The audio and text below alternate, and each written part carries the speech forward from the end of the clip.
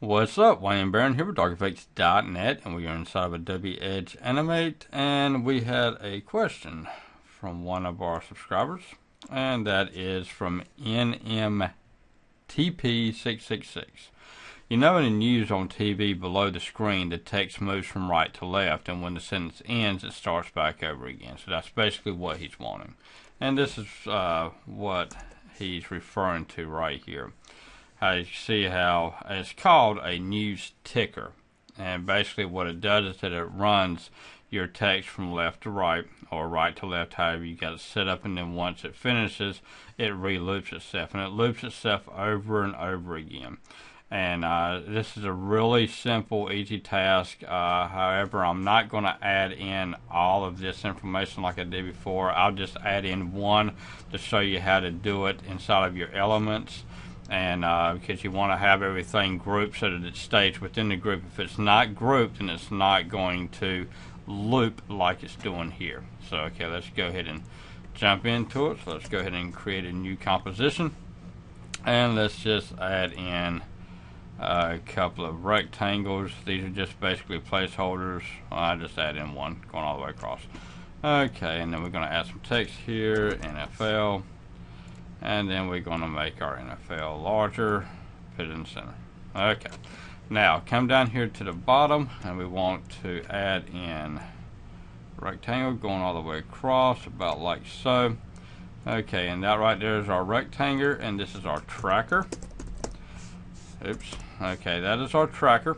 And so now inside of our tracker we want to come in. Let's go ahead and uh, let's go ahead and save this first. So we're going to save this as um, lesson number five. And this is going to be news ticker. Okay, so inside of here, we're going to go ahead and add in an image. I'm a Dallas Cowboys fan, so we're going to add in Dallas Cowboys image. I'm going to come over here and change this to, let's do 30. And then let's go find the helmet. Okay, right up here on the top, drag it down to here. And let's make it just a little bit smaller, do it 25. Okay, so now with our image, that's good right there. Now let's go add some text right here. It's going to be Dallas Cowboys. Okay, and we want to bring that way on down there. So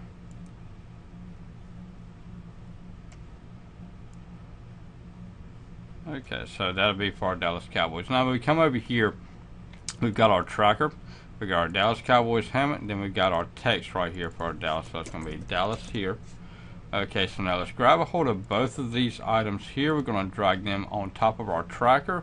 Once we drag it on top of our tracker and drop it, then it will automatically add it as a sub into our tracker, and then it automatically becomes a part of our tracker. Okay, so now that we've got that done, let's go ahead and do some animation. Okay, so on the one that I've got over here, we've got uh, set for 10 seconds. So on this one right here, we're going to start and we're going to go over here to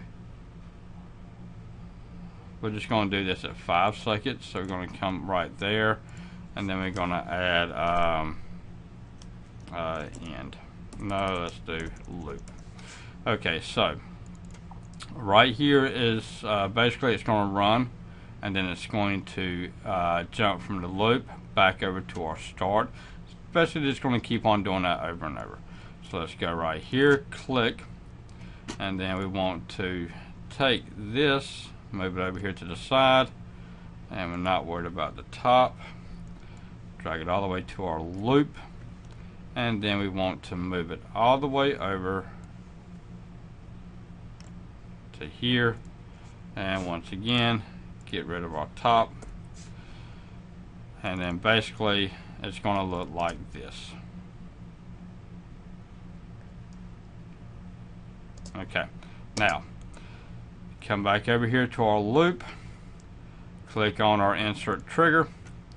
Play from we're going to play from start S-T-A-R-T. Click OK. Control Enter to run it. and once it gets finished to the end it should replay it again and there you go it will continue to play this over and over again now depending on uh, how you want it done uh, will depend on your length so let's say that you want to slow it down and bring it all the way out there grab a hold of it drag it to here drag your trigger and your label over to there and then run it and then it will run it a lot slower so that you can actually add in more information here. And you can have this as long as you want. So the longer that you make it the uh, more time that you want to go by. And so uh, like the first one that I did it's uh, 10 seconds because it has more information on it so we've got all these football teams that's loading up and so we've got more information. Therefore we have it lasting longer. So we've got it lasting for 10 seconds.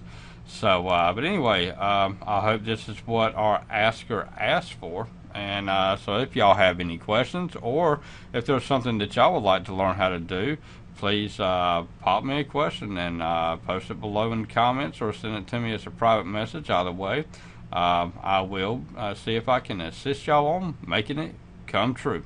All right, Wayne Barron here with DarkEffects.net. Y'all have a rocking week now. Bye bye.